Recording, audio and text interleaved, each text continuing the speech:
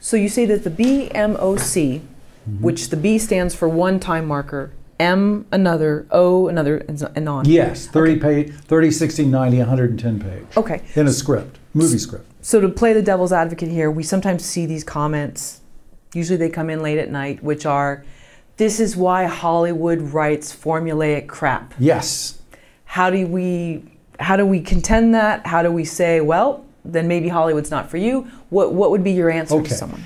Take a show that I think the new Robert Altman is a guy named uh, uh, Glover.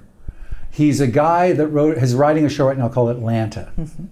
Now Atlanta is I think the hippest half-hour show on television.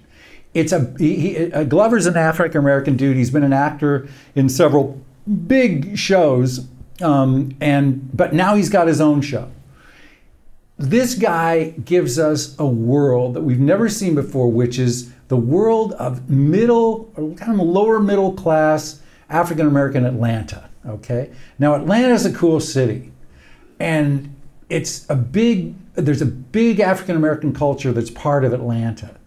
I would submit to you, you probably don't know much about that world, right? I, certainly didn't, right?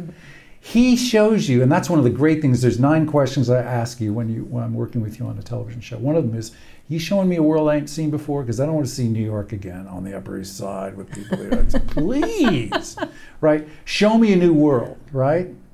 So this is the world of middle and lower middle class Atlanta, and it's very African American Atlanta, and it's very specific, and the story feels very loose. If you go look at the pilot of Atlanta, and it doesn't look like it's about much, sort of like a Robert Altman movie. It's got a very loose feel to it.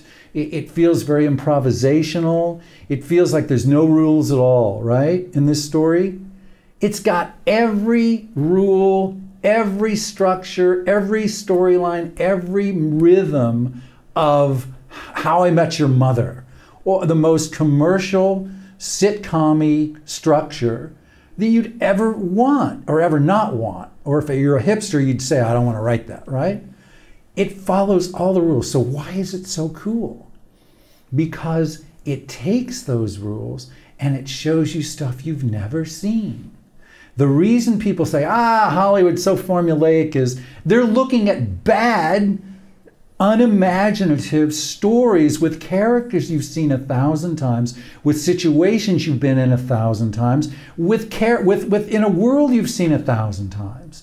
Set, but the structure, the commercial structure, is there because it's beautiful. The bones are beautiful. You can take different bones out, put other bones in, but there's an appeal below the surface of beauty. If you look at what we consider to be beauty, uh, if you took a, a, a skeleton, you'd see there was a conformity to the bone structure. Now, you can put whatever you want on top of that bone structure. You can make uh, the person uh, uh, Tunisian. You can make them Indian. You can make them American Indian. You can make them whatever you want. But the bones below that determines whether or not they're beautiful.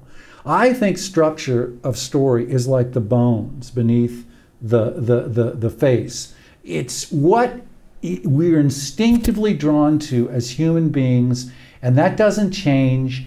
But what changes, what makes things unique, are is it a new world? Are these characters we haven't seen before? Is this guy have a wound that we haven't seen before?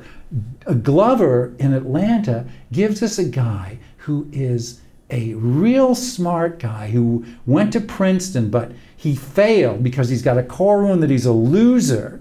And he's come back and he's just bumping around and hanging out in this middle class, lower middle class world of African American Atlanta. But he's a loser. He left Princeton probably because he felt like I don't. These people aren't like me, which I felt when I went, I went to an Ivy League school, and I felt the same thing. So, because I'm a loser, I'm going to drop out, and I'm going to go back home. Now, back in Atlanta, he gets involved with his cousin, who's a hip hop artist, who he shouldn't get involved with. He also already has a baby. Glover does, his character does, and he's not being a really good father, uh, but he's trying. He's not being a good husband at all. So all the things, all the elements that we've seen from a dozen sitcoms from 1960 on are all present in Atlanta. But because we've never seen this world before, because we've never seen this. So he's kind of a slacker, an African American slacker. And it's also very funny. So every commercial cliche of structure is in this story. And yet it's the freshest thing on television. And so that's my argument against not using structure. Think of it this way. In, in, in California, we have these, these uh, uh, vanity license plates, right? And, and in a vanity license plate, I think you get seven letters, right?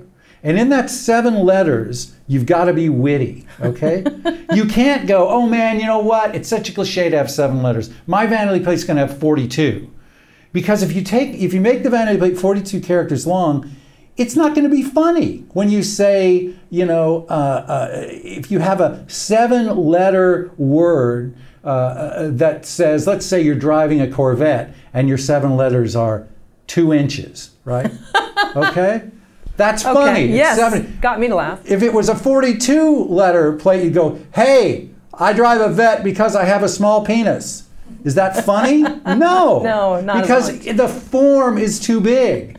So commercial form is what we delight in. We want to the limitations of commercial form produce the the entertainment, right? The fact that it's a half an hour means you must cram certain things in it. And the delight of an audience in a commercial art form is how are they going to cram something we've never heard about and is witty into this limited commercial form? That's what commercial art does.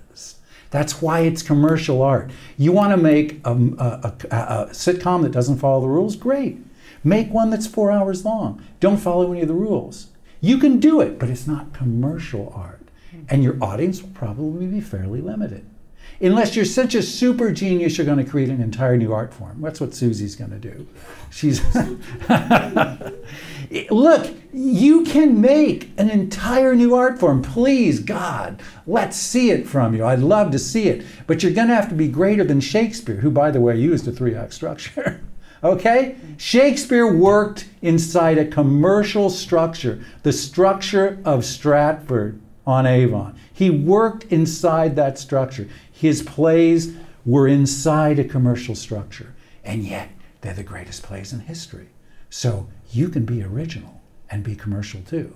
That's my seductive message for, for the whorish Hollywood that there is. A Hollywood pimp telling you, come on, baby, get in the Seraglio. Do it our way. you can still be original.